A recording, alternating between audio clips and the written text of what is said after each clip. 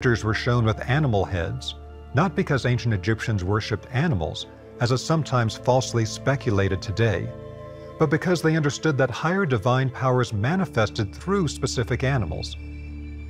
Just as today we say clever as a fox, the ibis-headed neter was known to the ancient Egyptians as Jehute, but today we know this neter from the later corrupted Greek name, Thoth or Thoth. Jehute was understood to be the being who created and taught the Egyptian temple science.